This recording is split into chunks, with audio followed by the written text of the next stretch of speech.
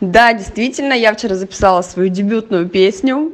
Прежде всего, неожиданно для самой себя я запела, потому что я как бы всегда была далека от музыки, никогда как бы не планировала этим заниматься, но так сложились обстоятельства, мне написали песню ребята из Минска, немного позже буду разглашать их имена. Весь материал уже передан для аранжировки, для сведения, поэтому скоро, скоро будет уже презентация, премьера, ну а по итогу, когда уже выйдет песня, естественно, планируются съемки клипа.